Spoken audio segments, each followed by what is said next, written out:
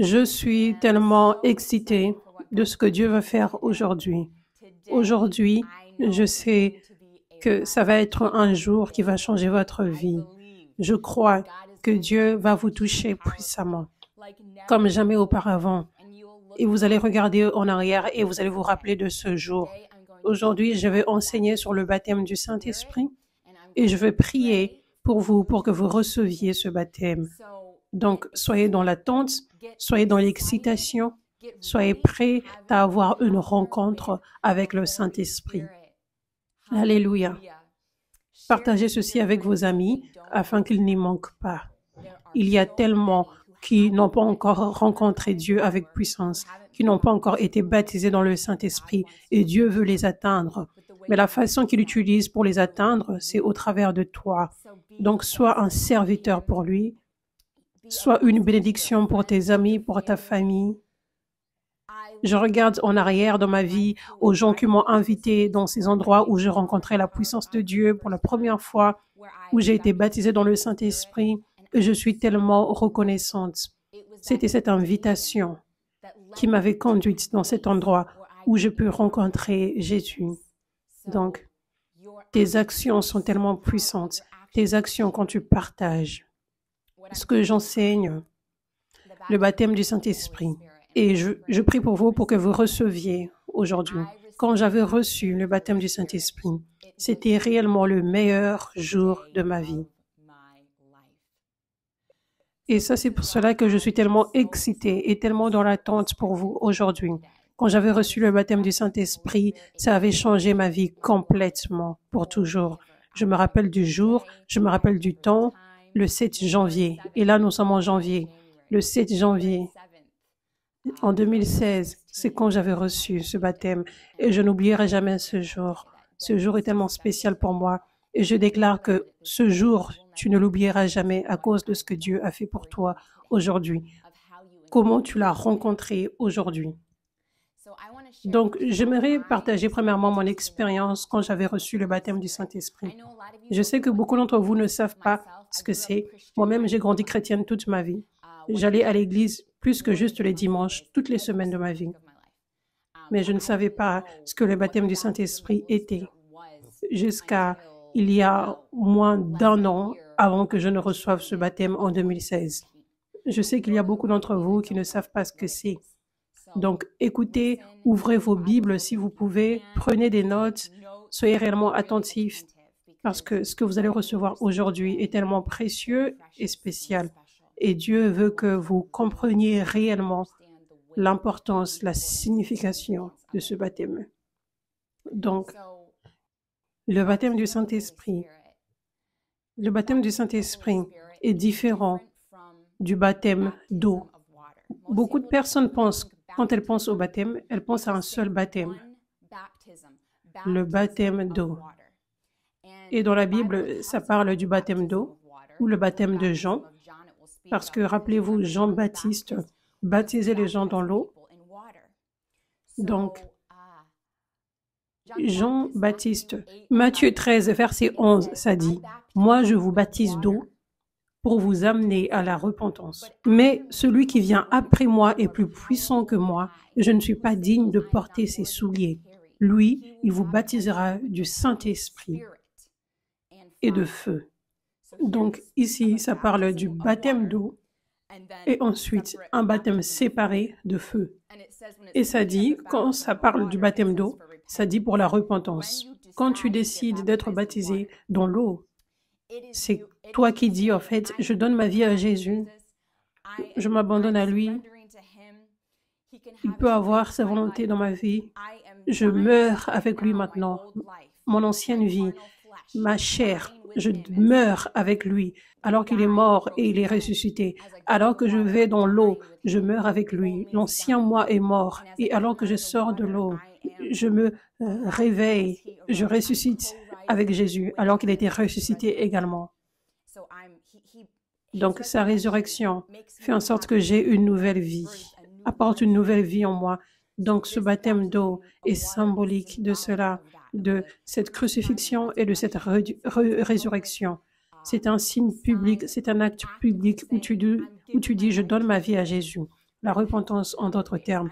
Je décide de mettre mon passé derrière moi, mon ancien moi derrière moi, et je décide d'être une nouvelle créature au travers de Jésus. Aujourd'hui, je suis né de nouveau maintenant. Ça, c'est le baptême d'eau. Et Dieu veut que nous soyons tous baptisés dans l'eau, que nous fassions ce choix. Et j'étais baptisé en tant que bébé, et il disait la confirmation, la dédication. Ils disent en fait, je dédicace mon bébé. J'ai été baptisé en tant que bébé, mais quand j'avais réellement fait la décision par moi-même, je décide réellement de donner ma vie à Jésus. Je fais ma décision en tant qu'adulte. J'avais décidé d'être baptisé à nouveau dans l'eau. Donc ça, c'est le baptême d'eau. Et ensuite, il y a le baptême du Saint-Esprit. Nous voyons aussi dans Acte 1, verset 5, ça dit, Jésus leur recommanda de ne pas s'éloigner de Jérusalem, mais d'attendre ce que le Père avait promis. Ce que je vous ai annoncé, leur dit-il, car Jean a baptisé d'eau, mais vous, dans peu de jours, vous serez baptisés du Saint-Esprit. Jésus lui-même a été baptisé dans l'eau par Jean. Dans Luc 3, verset 21, ça dit, tout le peuple se faisant baptiser, Jésus fut aussi baptisé, et pendant qu'il priait, le ciel s'ouvrit, et le Saint-Esprit descendit sur lui sous une forme corporelle comme une colombe. Donc écoutez, il était baptisé dans l'eau par Jean. Ensuite, après cela, après cela, ensuite le Saint-Esprit était descendu sur lui sous une forme corporelle comme une colombe. Et une voix était descendue du ciel. Tu es mon fils bien-aimé, en toi j'ai mis toute mon affection. Et ensuite, la prochaine chose qui se passe, ça dit, Jésus avait environ 30 ans lorsqu'il commença son ministère. Donc, ça dit que après qu'il ait reçu le baptême du Saint-Esprit, il a ensuite commencé son ministère. Le baptême du Saint-Esprit, c'est quand le Saint-Esprit vient sur toi et qu'il prend le dessus sur toi complètement, tellement que ça va même déborder sur ta langue. Le baptême du Saint-Esprit recommande tellement d'abondant. Ça recommande que tu sois comme Jésus. Je veux que tu fasses ce que tu veux réellement dans ma vie, Père. Même si tu veux prendre le dessus sur ma langue, fais-le, fais ce que tu veux. Je t'autorise de faire ce que tu veux faire avec mon corps, avec tout ce qui m'appartient. Fais ce que tu veux, Saint-Esprit. Et quand le Saint-Esprit vient sur toi, ça, c'est le baptême de feu. Quand tu reçois Jésus, le Saint-Esprit viendra à l'intérieur de toi. Quand tu reçois Jésus en tant que Seigneur, le Saint-Esprit vient en toi. Le Saint-Esprit maintenant vit en toi. Dès le moment où tu donnes ta vie à Jésus, tu reçois le Saint-Esprit en toi. Et alors que tu le suis, tu vas commencer à voir les fruits du Saint-Esprit dans ta vie. Il va te conduire. Tu vas commencer à l'entendre te parler. Mais quand tu es baptisé, avec le feu, avec le Saint-Esprit. Le Saint-Esprit vient sur toi, pas juste à l'intérieur de toi, mais sur toi comme un feu. Donc, il prend réellement le dessus sur toi. Et ce qui se passe quand tu es baptisé dans le Saint-Esprit, c'est que tu es réellement en feu. Tu te sens maintenant en feu, en feu pour Dieu. Quand j'étais baptisé dans le Saint-Esprit, et j'aimerais vous partager mon expérience maintenant. Et ensuite, je vais vous partager les Écritures où nous voyons le baptême du Saint-Esprit se produire dans l'Église des Actes. Quand j'avais rencontré premièrement la puissance de Dieu, c'était un ministère prophétique. Un prophète avait prophétisé sur moi des choses sur moi que je n'avais jamais racontées à personne, des choses qui se passaient dans ma vie personnelle. Et j'avais vu des guérisons se produire, j'avais vu des démons être chassés, des gens. Et ce jour-là, c'était un jour qui m'avait changé. Et ce jour-là, je savais que Dieu était réel. Je savais qu'il m'aimait. C'était une vraie rencontre qui m'avait changé pour toujours. Et cette soif avait commencé à se bâtir en moi, tellement. Je ne m'étais pas encore abandonnée, mais il y avait une soif en moi comme jamais auparavant, même si j'avais été chrétienne toute ma vie. Quand j'avais été dans la vraie présence de Dieu, cela s'était produit. Deux mois plus tard, le 7 janvier 2016, j'allais dans cet endroit où cette puissance de Dieu se manifestait, dans cette église de maison. Ce jour-là, je me disais, j'aimerais apprendre sur le baptême du Saint-Esprit. Je ne sais pas beaucoup sur ça et je suis curieuse et je veux le recevoir. J'ai entendu parler de cela il y a six mois et ça a planté une graine de soif en moi. Alors que je suis arrivée au service ce jour-là, le ministre qui conduisait le service a dit, je vais enseigner sur le baptême du Saint-Esprit. Waouh, j'étais éblouie par Dieu. Et ensuite, il a dit, si tu n'as pas encore reçu le baptême du Saint-Esprit, tu vas le recevoir aujourd'hui. Et mon cœur a commencé à battre avec de l'anticipation, avec de l'excitation, avec de l'attente. Et j'aimerais vous dire aujourd'hui, si vous ne l'avez pas encore reçu avant, vous allez le recevoir aujourd'hui au nom de Jésus. Donc, il avait enseigné sur le baptême du Saint-Esprit. Et ensuite, quand le message était fini, il avait appelé devant ceux qui n'avaient pas encore reçu le baptême du Saint-Esprit. Donc, j'étais allé devant. Et il avait mis sa main sur ma tête. Et immédiatement, quand il a placé sa main sur ma tête, et il a dit, je te baptise dans le Saint-Esprit.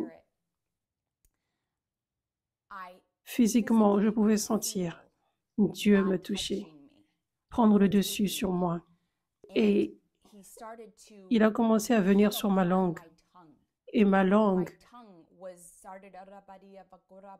a commencé à parler dans une nouvelle langue. Et je ne pouvais pas contrôler. Je ne le faisais pas par moi-même. Alors que je m'étais autorisé à parler, juste comme dans chaque chose, si je n'autorise pas ma bouche à parler, je ne vais pas parler. Je vais juste être là comme ça, calme. Mais quand j'avais autorisé à Dieu de prendre le dessus sur ma langue, il avait pris le dessus sur ma langue et ce qui était sorti, c'était une nouvelle langue. Quand nous lisons ce qui s'était passé dans l'Église le jour de la Pentecôte, le Saint-Esprit est venu sur les disciples et ils ont commencé à parler en langue. Et avant ça, je ne savais pas que c'était pour nous aussi aujourd'hui. Je pensais que ça ne se produisait plus aujourd'hui. Je pensais que c'était juste pour les disciples originaux parce que je ne l'avais pas réellement vu. Mais ça, réellement, c'est un cadeau que Dieu veut pour chaque chrétien. Il le veut pour toi. C'est un cadeau qu'il veut pour tous ses enfants. Donc, j'avais commencé à parler en une langue différente. Et cette rencontre était tellement précieuse pour moi. C'était comme la première fois. C'était comme si j'avais un câlin de la part de Jésus. Cette rencontre était tellement puissante, elle était tangible, elle était physique, c'était tellement surnaturel. C'était surnaturel que ma langue parlait une langue différente et je ne savais pas ce que je disais. C'était surnaturel. C'était la chose la plus miraculeuse que je n'avais jamais vue en moi. Jésus paraissait tellement proche de moi et j'étais tellement remplie d'excitation et d'admiration devant Dieu. Et j'étais comme, je criais en langue parce que j'étais tellement en admiration de Jésus, tellement excitée, tellement éblouie par lui. Et après ce jour-là, ma vie n'a jamais été pareille. Je me rappelle, quand j'avais reçu le baptême du Saint-Esprit, mes yeux s'étaient ouverts sur le fait que Jésus était tellement extraordinaire, il était digne de mon abandon. Donc, je ne pouvais pas faire autrement. Je devais m'abandonner immédiatement. Personne ne m'avait dit, est-ce que tu veux t'abandonner maintenant? C'était de mon cœur. Jésus, j'abandonne tout entre tes mains. Tu es extraordinaire. Tu es extraordinaire. Tu peux prendre ma vie. Tu peux m'emmener partout. Tu peux même m'envoyer dans un désert, dans une île. Peu importe, Dieu. Peu importe. Je m'abandonne à toi. Et après ce moment, le Saint-Esprit avait pris le dessus sur ma vie comme jamais auparavant. Ça, c'est la puissance du baptême du Saint-Esprit. Il prend réellement le dessus sur ta vie. Ta vie n'est pas supposée être dans de lutte avant que Jésus ne vienne, avant qu'il n'apporte le Saint-Esprit. Les gens de Dieu vivaient sous la loi et ils essayaient de faire ce que Dieu commandait. Ils essayaient fortement, mais ils ne pouvaient jamais réellement y parvenir. Ils finissaient toujours par tomber. d'une certaine façon. Ils ne pouvaient jamais y arriver. Nous ne sommes pas supposés vivre comme ils vivaient. Nous sommes supposés vivre avec puissance, avec la puissance du Saint-Esprit. La Bible dit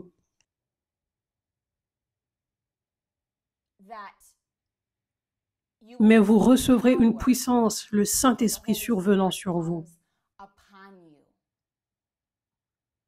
Acte 1, verset 4. Jésus dit, je vous recommande de ne pas s'éloigner de Jérusalem, mais d'attendre ce que le Père avait promis. Ce que je vous ai annoncé, leur dit-il, car Jean a baptisé d'eau, mais vous, dans peu de jours, vous serez baptisés du Saint-Esprit. Verset 8, ça dit, mais vous recevrez une puissance, le Saint-Esprit survenant sur vous, et vous serez mes témoins à Jérusalem. Vous recevrez une puissance. Donc, quand j'avais reçu le baptême du Saint-Esprit, c'était comme si sa puissance était en moi maintenant. Sa puissance coulait au travers de moi maintenant pour retirer les désirs que j'avais du monde. Et j'étais rempli des désirs pour Jésus. Je n'avais pas besoin d'essayer, je n'avais pas besoin de forcer. J'étais juste en feu naturellement à cause du baptême du Saint-Esprit. Je voulais prier en langue tout le temps. Je voulais lire la Bible pour la première fois de ma vie. Je me disais, je ne peux attendre de lire la Bible, je veux juste passer du temps avec Dieu. Je voulais juste parler de Dieu. Je ne voulais pas parler des choses mondaines. J'étais juste consumé par Dieu. Je me rappelle, je regardais un film et je me disais, oh, je veux que ce film s'arrête parce que je veux retourner pour lire ma Bible et parler de Dieu. Ça, ce n'était pas, ce n'était pas mes propres désirs. C'était Dieu qui prenait le dessus par la puissance de son Saint-Esprit, par son feu. Et ça n'a jamais changé depuis ce jour-là. Tu as une responsabilité, juste comme quand tu tombes amoureux de quelqu'un. Il y a cette phase de lune de miel, mais tu as la responsabilité de choisir de continuer d'aimer après la lune de miel. Et tu as le choix d'être toujours rempli d'autant d'amour et de zèle, comme c'était dans la lune de miel. Mais c'est une responsabilité, tu dois faire des actions pour ça. Donc c'est comme ça aussi avec le baptême du Saint-Esprit. Tu vas être complètement consumé par Jésus. Et ensuite, tu dois conserver cela. Mais quand tu conserves, en prenant les actions, en prenant l'intention de poursuivre Jésus, de le suivre, de le servir, ce feu se consume en toi continuellement, continuellement, continuellement, te rendant plus comme lui, retirant tous les désirs du monde.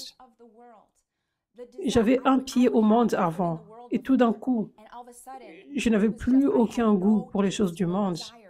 Je voulais juste Jésus, je voulais juste être pur, je voulais juste être plus comme lui. Mon cœur était devenu tellement comme lui comme jamais auparavant. Ce n'était pas par mes propres habiletés, ce n'était pas par, mes propres efforts. J'étais devenu tellement altruiste comme jamais auparavant, grâce à sa puissance. Je ne pensais plus à moi, premièrement, comme j'étais avant le baptême du Saint-Esprit. J'étais en mesure d'aimer les gens. J'étais en mesure de voir les gens au travers des yeux de Jésus. J'étais en mesure d'aimer mes ennemis. Je n'étais pas en mesure d'être comme ça avant le baptême du Saint-Esprit. Il prend réellement le dessus sur toi, son feu. Alléluia. Ça dit, vous recevrez une puissance lorsque le Saint-Esprit viendra sur vous. Donc, l'un des objectifs, l'un des grands objectifs du baptême du Saint-Esprit, c'est de t'équiper pour le ministère. Le royaume de Dieu n'est pas une affaire de parole, mais de puissance. Ce n'est pas le vrai royaume de Dieu sans la puissance de Dieu. Donc, comment recevoir la puissance en tant que chrétien? Parce que c'est la volonté de Dieu pour chaque chrétien que chaque chrétien marche dans la puissance de Dieu. Comment nous recevons cette puissance? Bien, la Bible dit, Jésus dit aux disciples, vous recevrez une puissance lorsque le Saint-Esprit viendra sur vous. Et ça dit après cela, et vous serez mes témoins à Jérusalem, dans toute la Judée, dans la Samarie et jusqu'aux extrémités de la terre. Donc, le verset d'après dit, vous serez mes témoins. Donc, tu vas recevoir une puissance et ensuite tu vas au ministère. Ça, c'est l'exemple que Jésus nous a donné. Il avait été baptisé dans l'eau par Jean-Baptiste. Ensuite, le Saint-Esprit est venu sur lui. Et l'écriture d'après dit qu'il avait environ 30 ans lorsqu'il a commencé son ministère. Lorsqu'il était baptisé du Saint-Esprit, il avait reçu la puissance. Maintenant, il avait la puissance de Dieu en lui pour commencer le ministère. Nous sommes tous appelés à être des ministres de Dieu envers les gens dans notre vie. Nous tous, nous sommes appelés à être des serviteurs de Dieu, des ministres de Jésus. Nous sommes tous appelés à marcher dans la puissance de Dieu. Nous ne pouvons pas servir les gens sans la puissance de Dieu. Sinon, ce sera juste des paroles. Si tu parles de Jésus, mais sans puissance, c'est juste des paroles. Tu as besoin de la puissance de Dieu, qu'elle soit sur toi, alors que tu parles, alors que tu pries pour les gens. Ça, c'est la volonté de Dieu pour toi. Alléluia. J'aimerais parler maintenant des exemples du baptême du Saint-Esprit dans le livre des Actes. Premièrement, regardez à Jean 20, verset 19. Jésus était apparu aux disciples après sa résurrection et ça dit qu'il leur avait montré ses mains et ses côtés, ses mains qui avaient des trous. Et ensuite, les disciples se réjouissaient d'avoir vu le Seigneur. Jésus leur dit de nouveau, la paix soit avec vous. Comme le Père m'a envoyé, moi aussi je vous envoie. Et après ces paroles, il souffla sur eux et leur dit, recevez le Saint-Esprit. Après ceci, cependant, il dit dans Acte 1, verset 5, Ne vous éloignez pas de Jérusalem, mais attendez ce que le Père avait promis. Ce que je vous ai annoncé, leur dit-il, car Jean a baptisé d'eau, mais vous, dans peu de jours, vous serez baptisés du Saint-Esprit. Et nous savons dans Acte 2, versets 1 à 8, ça parle du jour de la Pentecôte. Le jour de la Pentecôte, ils étaient tous ensemble dans un même lieu. Tout à coup, il vint du ciel un bruit comme celui d'un vent impétueux, et il remplit toute la maison où ils étaient assis. Des langues semblables à des langues de feu leur apparurent, séparées les unes des autres, et se posèrent sur chacun d'eux. Et ils furent tous remplis du Saint-Esprit et se mirent à parler en d'autres langues, selon que l'Esprit leur donnait de s'exprimer. Donc, je reviens en arrière sur le verset que j'avais lu avant. Jean, il avait soufflé sur eux. Jésus avait soufflé sur eux et il avait dit, recevez le Saint-Esprit. Mais ensuite, il a dit, attendez le baptême du Saint-Esprit qui viendra sur vous pour vous donner une puissance. Donc ici, nous voyons, il avait soufflé sur eux, recevez le Saint-Esprit. Ça, c'est quand tu acceptes Jésus comme Seigneur, tu as le Saint-Esprit en toi. Mais tu n'as pas encore reçu le baptême de feu qui vient sur toi pour te donner de la puissance. Ça, c'est ce dont Jésus parlait quand il a dit, restez à Jérusalem, attendez ce cadeau avant que vous ne commenciez le ministère. Vous avez besoin de la puissance, vous avez besoin du baptême de feu. Donc, ils avaient attendu, ils avaient fait cela, ils étaient tous unis, ils étaient dans la tente, ils étaient abandonnés à Dieu, ils étaient prêts. Et ça dit, le Saint-Esprit est venu sur eux sur eux, ça dit. Et ils étaient remplis de feu, ils étaient remplis du Saint-Esprit et ils ont commencé à parler en d'autres langues. Donc vous voyez comment ces deux expériences différentes, Jésus avait soufflé, recevait le Saint-Esprit à l'intérieur. Et deuxièmement, le Saint-Esprit est venu sur eux. Ils parlaient en langue et maintenant ils peuvent aller faire le ministère. Alléluia. Donc,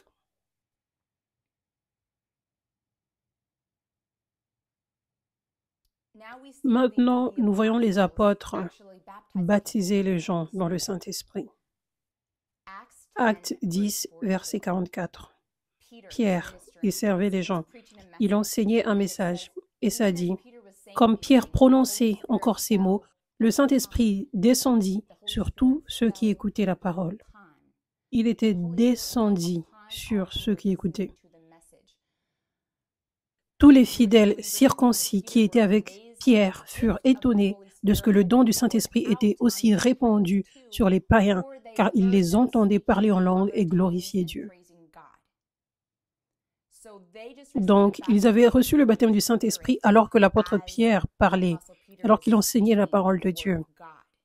L'évidence était qu'il parlait en langue. Donc, Il y a différentes façons pour recevoir le baptême du Saint-Esprit maintenant.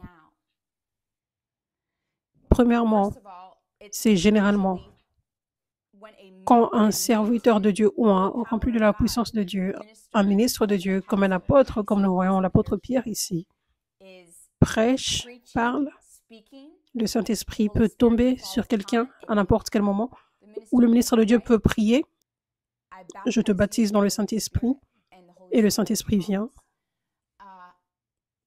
Il y a une autre façon pour que ça se produise, c'est en imposant les mains. Ça, c'est une façon commune pour que ça se produise. Acte 8, verset 14. Les apôtres qui étaient à Jérusalem et ont appris que la Samarie avait reçu la parole de Dieu y envoyèrent Pierre et Jean. Ceux-ci, arrivés chez les Samaritains, prièrent pour eux afin qu'ils reçussent le Saint-Esprit, car il n'était pas encore descendu sur aucun d'eux Ils avaient seulement été baptisés au nom du Seigneur. Ça, c'est le baptême d'eau. Alors, Pierre et Jean leur imposèrent les mains et ils reçurent le Saint-Esprit. Le Saint-Esprit va prendre le dessus et faire ce qu'il veut. Vous savez, tu feras les choses que tu ne devrais pas faire naturellement. C'est une rencontre surnaturelle. Dieu te montre réellement, je suis ton Dieu, je suis tout puissant, je suis tout puissant. Et nous voyons un monsieur, dès le moment où la main avait été placée sur lui, il avait commencé à trembler avec le Saint-Esprit et sa langue était remplie. Et il était par terre avec ses mains levées et tu pouvais voir la rencontre que Dieu avait avec lui. Donc, nous voyons dans la Bible qu'il y a différentes façons que ça va se produire. Lorsqu'une main est placée sur toi par un serviteur de Dieu un serviteur de Dieu qui dit je te baptise dans le Saint-Esprit, ou juste quand un serviteur de Dieu ou un parle. Nous le voyons se produire dans la Bible, que Pierre, alors qu'il parlait, les gens ont commencé à parler en langue.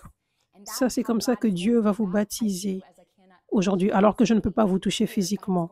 Dieu va vous baptiser de cette façon aujourd'hui. Et certains d'entre vous, vous l'avez même reçu avant même que je ne commence à prier. Je vous encourage à placer vos yeux sur Jésus. Il est ici, il est vivant avec vous maintenant. Il veut vous rencontrer puissamment. Alléluia. Donc, j'aimerais parler du don de langue maintenant. Le don de langue, le but de cela, ça c'est un don. La Bible dit que parler en langue, c'est un don que Dieu donne. Un don. Pas seulement c'est une rencontre, expérience miraculeuse où tu as l'impression de faire un câlin à Jésus. Il prend le dessus sur ta langue. Il y a juste beaucoup d'intimité dans cela, beaucoup de proximité. Mais quand tu parles en langue, tu parles une langue divine. Quand tu parles en langue, c'est ton homme spirituel. Ton homme spirituel, parce que tu es esprit. Ça, c'est le vrai toi. Esprit. C'est le toi qui, qui va aller au ciel avec Jésus. Pas ton corps physique, pas ton âme, mais ton homme spirituel. Donc, ton homme spirituel prie la volonté de Dieu. Ça, c'est puissant. La Bible dit que quand tu ne sais pas quoi prier avec tes paroles, l'Esprit Saint lui-même prie pour nous avec des gémissements. Beaucoup de fois, nous ne savons pas quoi prier avec nos paroles, mais quand nous commençons à parler en langue, nous prions que la volonté de Dieu soit faite. Ça, c'est puissant. Quand tu pries en langue, tu parles directement au Saint-Esprit. Ton homme spirituel prie directement au Saint-Esprit. Quelle intimité cela est. Et quand tu pries en langue, tu parles ce que le diable ne peut pas entendre. Le diable ne peut pas entendre cette prière. Quand tu pries en langue, cela réveille ton homme spirituel. Cela le renforce. La Bible dit, ranime la flamme du don de Dieu que tu as reçu. Donc, une action de ranimer ton homme spirituel, de ranimer cette flamme, c'est en priant en langue. Tu fais en sorte que ton homme spirituel se réveille plus, juste alors que tu commences à parler en langue. Et tu fais en sorte que ta chair se rabaisse plus. Tu fais en sorte que ta chair se rabaisse et que ton esprit prenne le dessus. Donc tu commences à penser plus comme Jésus. Tu commences à plus entendre sa voix clairement. J'aimerais vous partager que quand j'étais baptisé du Saint-Esprit, je priais en langue tout le temps. J'étais en feu. Et quelques mois étaient passés, trois ou quatre mois. Et j'avais commencé à oublier de parler en langue. J'avais perdu l'habitude. Juste, je ne faisais pas l'intention. Et j'étais allée à l'église et le ministre de Dieu enseignait sur l'importance de prier en langue, qu'il faut le faire comme une habitude, avec intention régulièrement. Et j'étais réellement touchée et convaincue. Oh, je ne veux pas prendre ce don pour acquis, je veux le valoriser. Et il parlait du fait que quand tu pries en langue, tu ouvres plus tes oreilles spirituelles. Tu deviens plus spirituel, donc tu peux plus entendre Dieu clairement. Donc ces jours-là, j'étais tellement convaincue. J'avais commencé à prier en langue tout au long de ma journée, quand je le pouvais, dans ma voiture. Et un jour, je revenais d'un événement. Je conduisais, c'était la nuit. J'étais dans ma voiture. Juste quelques mois avant, j'étais dans un accident de voiture. J'avais frappé quelqu'un qui venait d'une autre euh, voie. C'est comme s'il voulait faire un dépassement et je l'avais percuté avec ma voiture. Et j'étais juste à quelques pas de ce même point exact où j'avais eu l'accident quand je priais en langue ce jour-là en conduisant. C'était la nuit, c'était donc après que j'avais été convaincue de prier en langue tout le temps. Donc je priais en langue, je priais en langue. Je me sentais réellement fatiguée physiquement quand je conduisais. Je priais en langue, je priais en langue. Et tout d'un coup, ce souvenir était venu dans ma tête. Alors que je conduisais, j'étais fatiguée et je priais en langue en même temps. Ce souvenir est revenu dans ma tête. Ce souvenir était de cet accident de voiture dans ma mémoire. C'était juste venu, comme une vision. Juste boum. C'est venu dans ma tête, venant de nulle part. Et, ensuite, cela m'avait réveillée. Cela avait fait en sorte que je sois plus alertée. Ce souvenir m'avait réveillée et avait fait en sorte que je sois plus alertée alors que je conduisais. Donc, je m'étais retrouvée dans ce même endroit où j'avais eu l'accident avant. Et honnêtement, il y avait presque une répétition de ce même accident. Il y avait une voiture qui venait d'une autre ligne et qui voulait s'insérer dans ma ligne, mais cette fois-ci, j'avais réussi à éviter cette voiture. J'étais tellement rapide pour euh, me protéger parce que j'avais été alertée. Vous voyez, le Saint-Esprit me parlait, me préparait, me protéger. Et il va y avoir une voiture qui va arriver bientôt. Je veux que tu sois alerté. Et je priais en esprit quand cela s'était passé. Je priais en esprit toute la journée ce jour-là. Et c'était Dieu qui me montrait, regarde, quand tu pries en esprit, ça fait réellement quelque chose dans le monde spirituel. Ça réveille réellement ton âme spirituelle. Tu es réellement plus en feu et ça t'aide à écouter clairement quand je te parle. Alléluia. Donc, ça, ce sont quelques points importants de ce don du parler en langue. Tu communiques directement avec le Saint-Esprit. Ça ranime ton âme spirituelle dans une flamme afin que tu sois plus spirituel, que tu entendes Dieu plus clairement, que tu sois moins charnel. Et ça peut être aussi un signe. Ça peut aider d'autres personnes à croire, vous savez, comme nous avons vu après le jour de la Pentecôte. Ils étaient venus dans la rue, 9 heures du matin, ils étaient sortis dans la rue, après qu'ils aient commencé à parler en langue. Et les gens disaient, est-ce que vous êtes ivres? Ils avaient dit, non, nous ne pouvons pas être ivres parce qu'il est 9 heures du matin. Donc c'était devenu un signe. C'était devenu un signe. Waouh Ça, ça doit être Dieu. Qui peut faire ceci mais le Saint-Esprit Quoi Voir le baptême du Saint-Esprit avec tes yeux. Je veux dire, ça augmente la foi. Ça te fait croire que Dieu est réel et qu'il est vivant et qu'il fait des miracles. Et un autre but est que Dieu pourrait donner à une personne le don de langue qui est en fait une langue native d'une autre personne. Et cette personne va l'entendre. Et ça peut être une façon pour Dieu de toucher cette personne. Dieu parle à une personne de parler en langue, dans la langue natale d'une autre personne.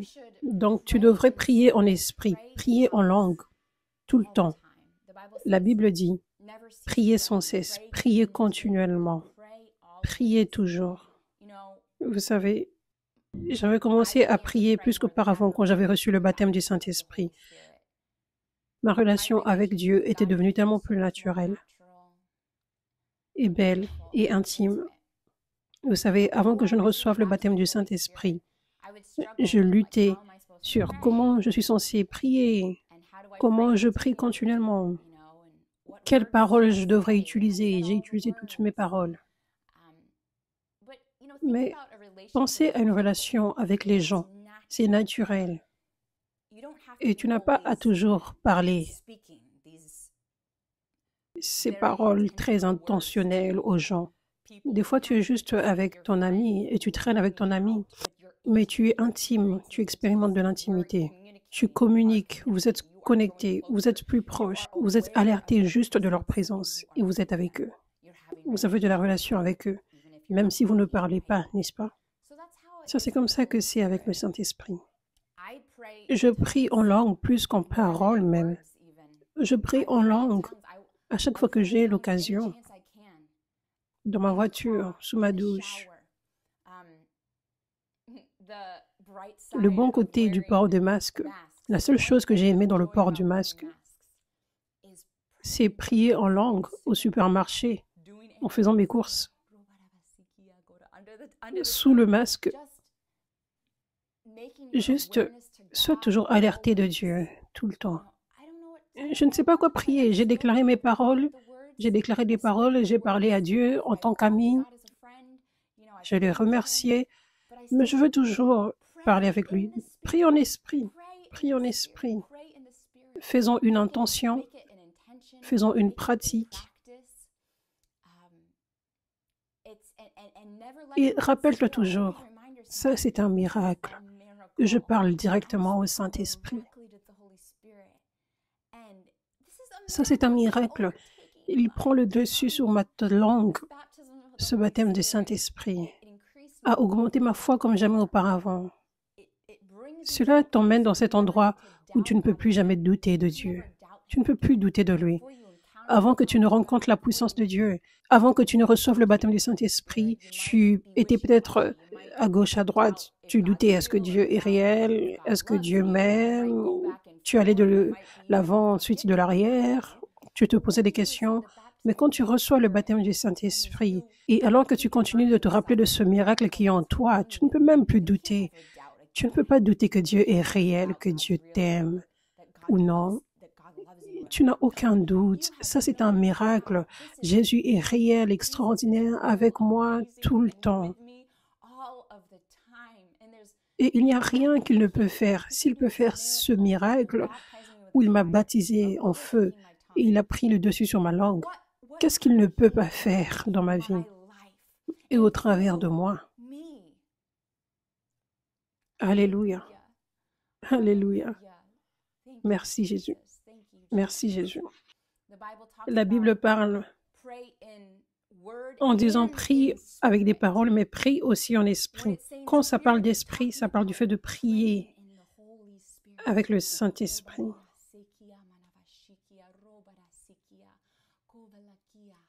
Alléluia. Alléluia. Ça, c'est un cadeau que Dieu veut pour vous tous, vous tous qui regardez. Dieu veut vous le donner maintenant. Il veut vous le donner maintenant.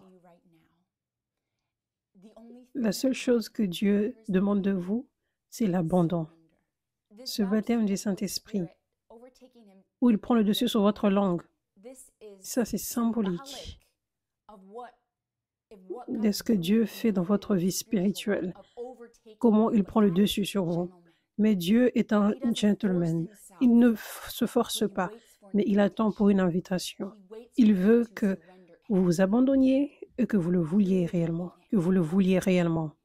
Et s'abandonner à Dieu, c'est la meilleure décision que tu ne puisses prendre dans toute ta vie. Ça, c'est là où la vie commence réellement. Donc, je vous invite à répondre à l'appel de Dieu Il vous demande maintenant, est-ce que vous voulez vous, vous abandonner à moi?